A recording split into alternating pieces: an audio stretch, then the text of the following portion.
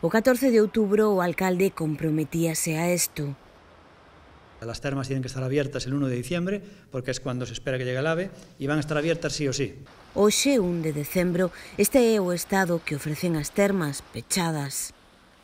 Onte, a concelleira responsable da área de termalismo, Flora Moure, que con respecto a esa data de apertura xa ten desmentido o alcalde en máis dunha ocasión, anunciaba que se acababa de asinar o contrato menor para as obras previstas en Outariz, imprescindibles para que poidan abrir o público.